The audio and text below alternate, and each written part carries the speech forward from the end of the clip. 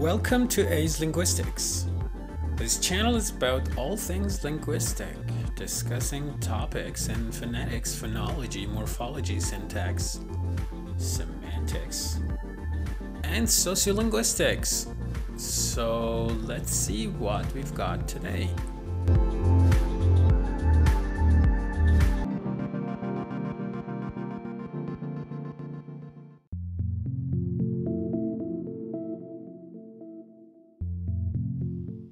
Fun question. Is one morpheme one syllable?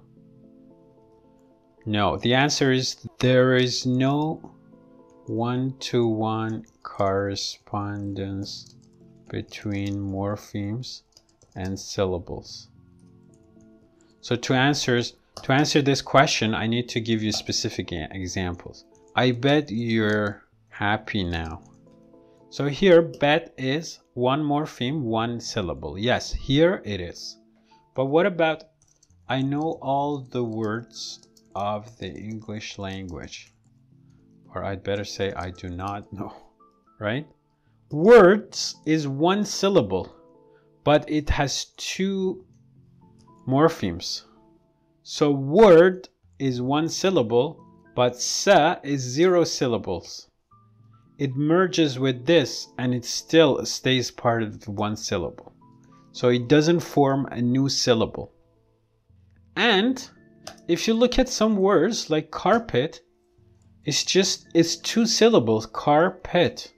But what about I have two pets, one for home and another for my car. I like my car pet better than my home pet. This carpet has nothing to do with carpet, right? So carpet, car, and pet is not the same as car and pet. The word carpet is one morpheme but two syllables. A morpheme can be one syllable, it can be two syllables, it can be three syllables or more. For example, cardigan is an item of clothing.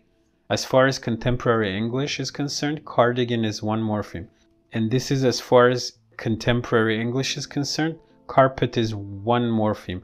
So if you go to history and say, oh, carpet comes from Latin and in Latin et means this, that has no relevance to contemporary English in terms of the way people perceive the word carpet. A native speaker of English perceives the word carpet as one morpheme, and so does he or she perceive the word cardigan as one morpheme. But carpet has two syllables, cardigan has three syllables, and there's still one morpheme. And the word word or the word bet, they have one syllable, there's still one morpheme and the word the plural s as in the word words is not a separate syllable and it's still a morpheme. Does every morpheme consist of at least one sound though? For example books.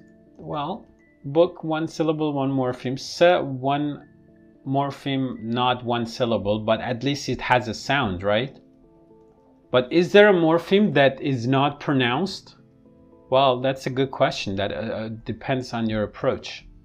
So, they work every day of the week. He works every day of the week. Okay? So, if I ask you, what is S here? This S is, of course, different from this S. This is a plural S. This is third person singular S.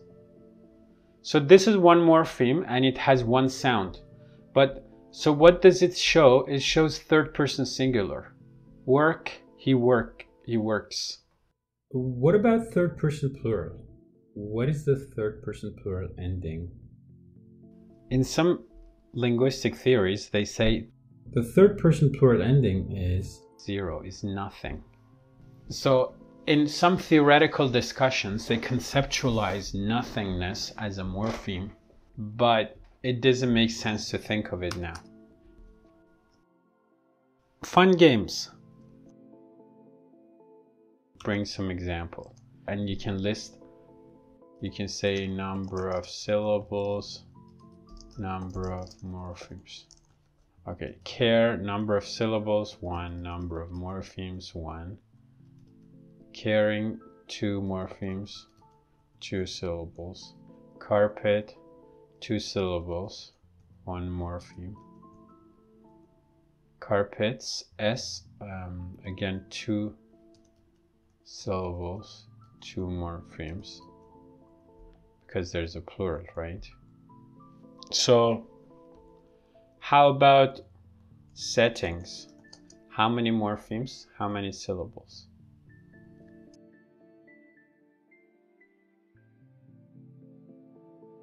What about unhappy? Yes, but if you say unhappily, that would be unhappily. Three morphemes, four syllables, right? Now there's a this different discussion. Okay, I, I mentioned the word unhappily. In the word unhappily, we know that the word happy is also a word, right? But there's also two other morphemes, which is un and then the, the, the morpheme ly. So this is a prefix because it appears before the word. This is a suffix, it appears after the word. So we know that you can say she's not really happy with her life. So happy would be used in that context. So, but you never, you can never say she's very un with her life or she's playing soccer lee you can say she's very playing soccer happily or unhappily. These are not words on their own, but happy is a word, even outside unhappily. So here we get an idea for a new classification of morphemes. Morphemes are classified in different ways. One classification is classifying all morphemes into either free or bound. So a free morpheme is a morpheme that can stand alone and be used as an independent word in the language. However, a bound morpheme cannot stand alone or be used as an independent word in the language. I gave you examples already. I can give you more examples. For example, the word undesirable. How many morphemes does it consist of? Which ones are free, which ones are bound? More examples of free morphemes. Desire, shoe, screen. The word free itself. What about here? All suffixes and prefixes. Ness, ly, pre, like prejudge, prefix, arms, books, homes, third person, he works, and she talks desirable, huggable, undesirable, unhappy, unruly. So these are examples. ing in running, or er in teacher, or performer, or ist in pianist, or novelist, or even linguist.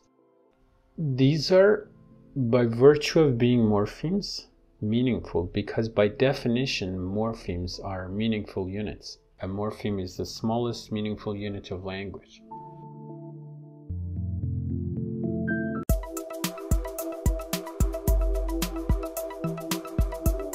Thanks for your time and attention and see you again soon.